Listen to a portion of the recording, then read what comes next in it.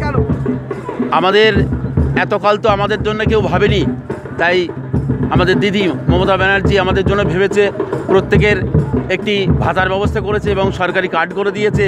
তা দিদি আমাদের জন্য করেছে তাই আমরা সবাই ছুটেছি আজ ব্রিগেডে। এবং শুধু তাই নয় আমাদের আটত্রিশ নম্বর কাউন্সিলর নির্মল দত্ত মহাশয় আমাদের ভীষণ ভালোবাসে। তার সাথে করেই আমরা ছুটেছি আজ ব্রিগেডের দিকে।